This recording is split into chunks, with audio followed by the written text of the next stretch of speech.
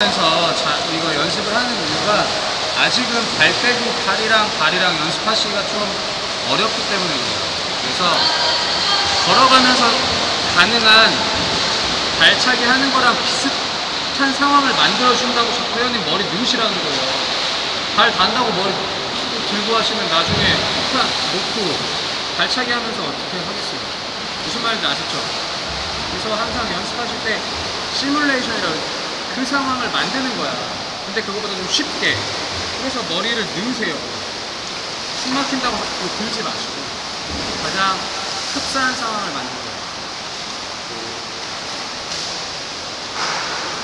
숨도 언제 쉬어요? 이팔 돌아갈 때 먼저 나와.